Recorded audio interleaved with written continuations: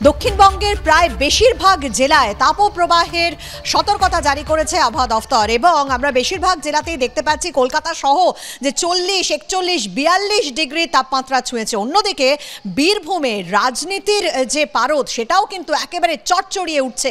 তার কারণ আজ বীরভূমে কেষ্টহীন বীরভূমের সিউড়িতে সভা করবেন কেন্দ্রীয় স্বরাষ্ট্রমন্ত্রী অমিত শাহ এবং ওই একই জায়গায় পাল্টা রবিবার সভা করতে চলেছেন ফিরহাদ হাকিম। আজ অমিত শাহ যে সভা রয়েছে, আমরা জানি যে সামনেই পঞ্চায়েত ভোট, যদিও পঞ্চায়েত ভোটে নির্ঘণ্ট এখনও প্রকাশ করা হয়নি। কিন্তু আগামী দু সালে লোকসভা নির্বাচনকে পাখির চোখ করে বেশ কিছু কর্মসূচি রয়েছে অমিত শাহর গোটা বছর জুড়ে। এবং তারই শুরু হচ্ছে কিন্তু আজকে বীরভূমের এই সভা থেকে। আমরা কথা বলব আমাদের প্রতিনিধি শিবাশিস মৌলিকের সঙ্গে। সরাসরি চলে যাচ্ছি। শিবাশিস, এই মুহূর্তে সভাস্থলে রয়েছে, সিউড়ির যে সভাস্থল, যেখানে অমিত শাহ আজকে সভা রয়েছে। প্রথমেই তোমার কাছে জানতে চাইব শিবাশিস যে কি প্রস্তুতি দেখছ এবং আজ অমিত শাহ ঠিক কি বার্তা দিতে চলেছেন এই সভা থেকে?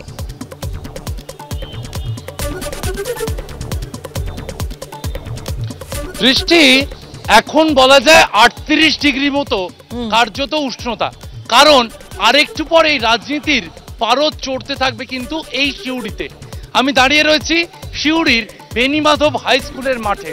এই বেনিমাধব হাই স্কুলের মাঠে আজকে কিন্তু এই জনসমাবেশ, যে জনসম্পর্ক সমাবেশ করতে আসছেন কেন্দ্রীয় স্বরাষ্ট্রমন্ত্রী অমিত শাহ।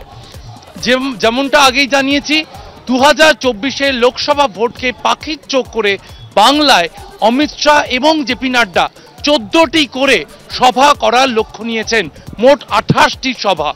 এবং সেই সভার লক্ষ্য নিয়ে আগেই জেপি নাড্ডা তিনি তিনটি সভা করেছেন। অমিত শাহ এবছর তার প্রথম সভা করছেন এই সিউড়ির মাঠে। এবং এই সভা থেকে তার যে বার্তা, স্টেজের নিচে আমরা দেখতে পাচ্ছি একটি ক্যাপশন রয়েছে বিজেপির তরফ থেকে, হিংসা মুক্ত রাজনীতি, দুর্নীতি মুক্ত সরকার, ভয় মুক্ত বাংলা। মূলত এই তিনটে বিষয়কে সামনে রেখেই কিন্তু আজ এই জনসম্পর্ক সমাবেশ থেকে বার্তা দেবেন বিজেপি কর্মীদের কেন্দ্রীয় স্বরাষ্ট্রমন্ত্রী অমিত শাহ। এবং এর পাশাপাশি জানিয়ে রাখি, গরমকে নজরে রেখে কিন্তু বিশেষ আয়োজন করা হয়েছে জার্মান হ্যাঙ্গার বসানো হয়েছে বিজেপি কর্মীদের যাতে কোনো অসুবিধা না হয় তার জন্য। এর পাশাপাশি পঞ্চাশ হাজার জলের পাউচের ব্যবস্থা করা হচ্ছে শুধুমাত্র কর্মীদের জন্য। এছাড়াও আরও অনেক কিছু ব্যবস্থা করা হয়েছে মঞ্চে কুলার বসানো হয়েছে। কেন্দ্রীয় স্বরাষ্ট্রমন্ত্রী তিনি এখানে সভা করতে আসবেন বেলা দুটো নাগাদ। প্রথমেই বারোটা কুড়ি নাগাদ তিনি নামছেন দুর্গাপুর বিমানবন্দরে এবং তারপর শিবাশিস তুমি আমাদের সঙ্গে থাকো। এই যে দুর্গাপুর বিমানবন্দর সেখান থেকেই রয়েছে আমাদের প্রতিনিধি মনোজ বন্দ্যোপাধ্যায়। মনোজের কাছে যাব। মনোজ এই দুর্গাপুর বিমানবন্দর সেখানেই কিন্তু আজ অমিত শাহ নামছেন বেলা বারোটার কিছু পরে এবং সেখান থেকে তিনি যাবেন। তোমার কাছে জানতে চাইব যে সেখানে নিরাপত্তা বন্দোবস্ত কি করা হয়েছে?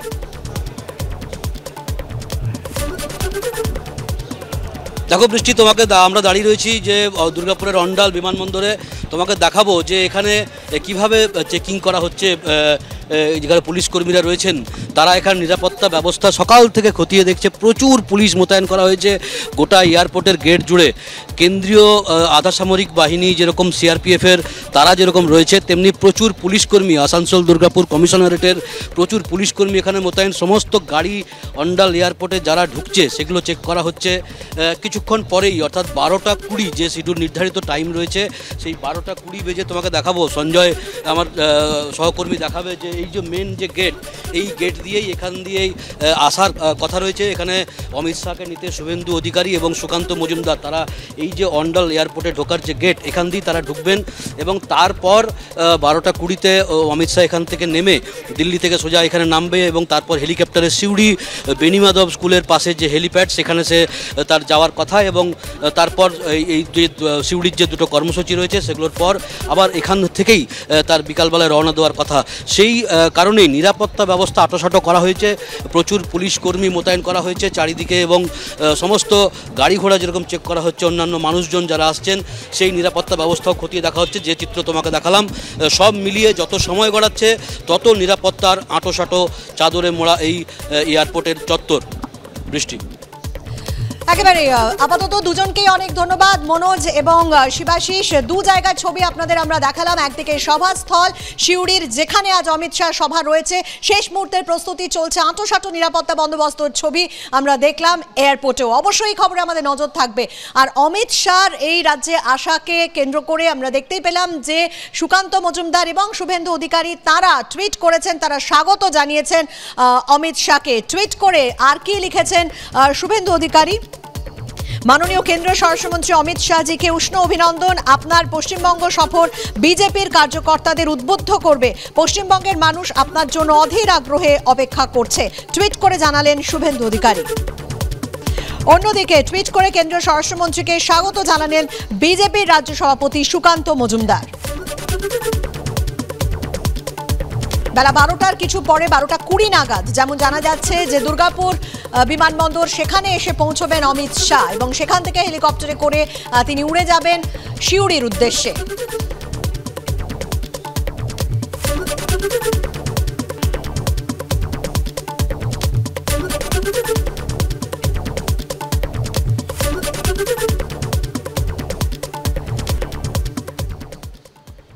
চলে আসছি পরের খবরে। নিয়োগ দুর্নীতি মামলায় এই প্রথম আদালতে অভিষেক বন্দ্যোপাধ্যায়ের নাম উঠল। আপনারা জানেন যে গতকাল মাননীয় বিচারপতি অভিজিৎ গঙ্গোপাধ্যায়, তিনি যেমন বলেছিলেন যে অভিষেক বন্দ্যোপাধ্যায় এবং কুন্তল ঘোষকে একসঙ্গে জিজ্ঞাসাবাদ করা উচিত ইডির। কেন্দ্রীয় এজেন্সির বিরুদ্ধে চাপ দেওয়া হচ্ছে এমন অভিযোগ কুন্তল ঘোষ বারবার করেছেন।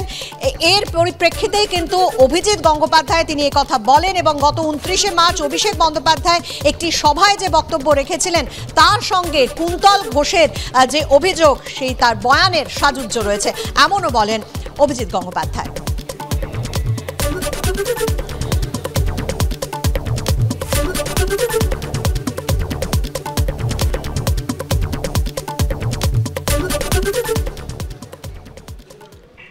গত উনত্রিশে মার্চ শহীদ মিনার চত্বরে অভিষেক বন্দ্যোপাধ্যায়ের যে সভা ছিল, সেই সভা থেকে তিনি ঠিক কি বলেছিলেন কেন্দ্রীয় এজেন্সিগুলোর বিরুদ্ধে, শুনুন একবার।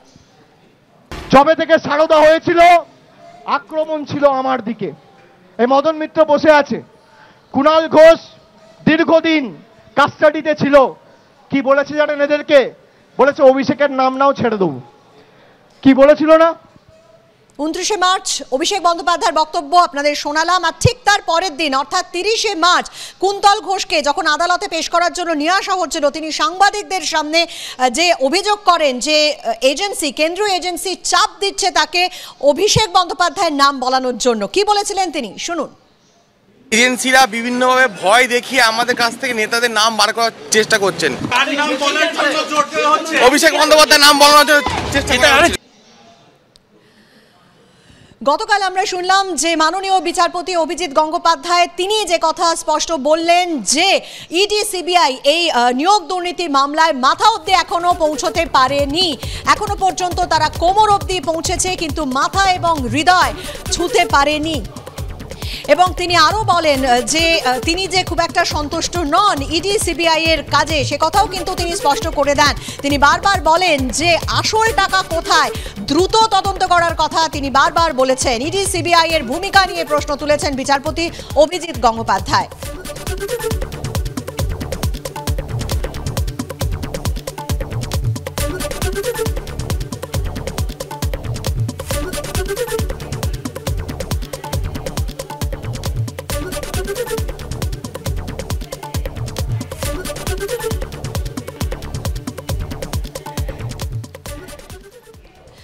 এদিকে কুন্তল ঘোষ যে চিঠি আদালতে দিয়েছিলেন, সেই চিঠিতে একেবারে বিস্ফোরক অভিযোগ তিনি করেছেন। তিনি বলছেন যে যেদিন ইডির তরফ থেকে তার ফ্ল্যাটে তল্লাশি অভিযান চালানো হয়, সেদিন নাকি ইডির এক আধিকারিককে বারবার ফোন করছিলেন শুভেন্দু অধিকারী এবং শুভেন্দু অধিকারী জানতে চাইছিলেন যে কুন্তল ঘোষ অভিষেক বন্দ্যোপাধ্যায়ের নাম নিয়েছেন কিনা। আমরা শুনে নেব যে সেই চিঠিতে ঠিক কি অভিযোগ, কি বিস্ফোরক অভিযোগ করছেন কুন্তল ঘোষ। কুন্তল ঘোষের বাড়িতে তল্লাশি চলাকালীন ফোন করেছিলেন শুভেন্দু অধিকারী। ইডির এক আধিকারিককে বারবার ফোন করে জিজ্ঞেস করছিলেন আমি অভিষেক বন্দ্যোপাধ্যায়ের নাম বলেছি কিনা? আলিপুর আদালতে বিস্ফোরক অভিযোগ করলেন নিয়োগ দুর্নীতিকাণ্ডে ধৃত বহিষ্কৃত যুব তৃণমূল নেতা কুন্তল ঘোষ।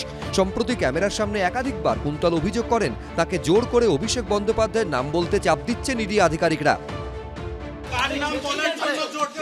অভিষেক বন্দ্যোপাধ্যায়ের নাম বলানোর জন্য চেষ্টা। আগের দিন আমি যা বক্তব্য রেখেছি সেটা সেটা চিঠি আকারে আমি আদালতকে জানিয়েছি। অভিষেক বন্দ্যোপাধ্যায় নাম বলানোর জন্য অভিষেক বন্দ্যোপাধ্যায় নাম বলানোর জন্য যেভাবে আমার উপরে প্রেশার করা হচ্ছে সেটাই জানিয়েছি।